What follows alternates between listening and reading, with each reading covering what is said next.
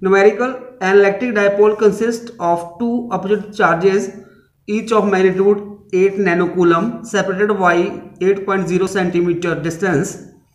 The dipole is placed in an external electric field of uh, 5 multiplied 10 raised to power plus 5 Newton Coulomb inverse.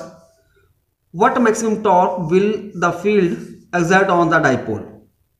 We have given electric dipole which has uh, two opposite charges and magnitude of each charge is given by 8 nanocoulomb and the distance between these two charges that is dipole length is 8.0 centimeter.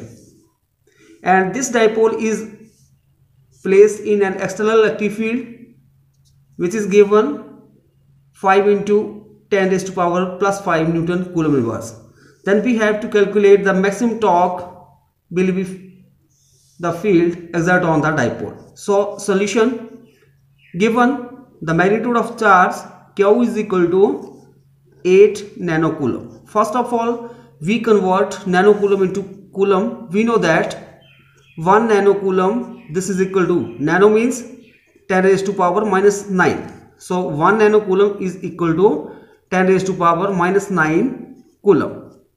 So this becomes 8 multiplied 10 raised to power minus 9 coulomb. Now dipole length also given that is 2L. This is equal to 8.0 centimeter.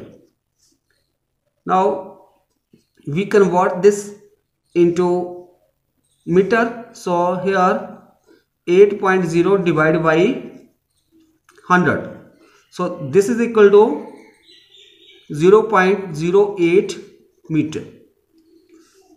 We know that dipole moment P this is equal to it is a product of uh, magnitude of charge and uh, dipole length that is P is equal to Q into 2L. So this is equal to Q is 8 into 10 raised to power minus 9 multiply 2L is 0.08.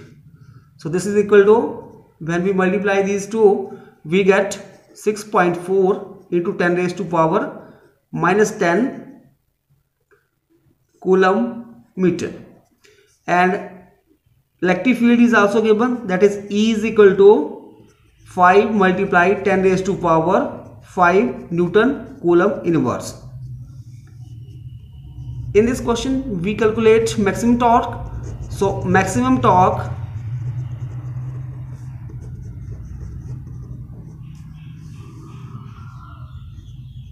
is equal to PE. Here we apply the formula torque this is equal to product of dipole moment multiply electric field.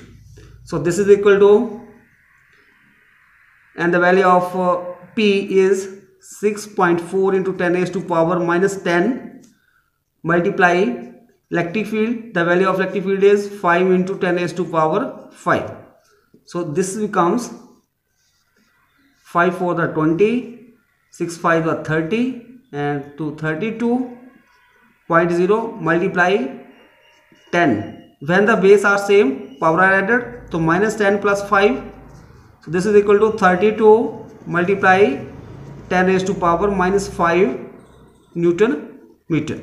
So torque acting on the dipole is equal to 32 multiply 10 raised to power minus 5 newton meter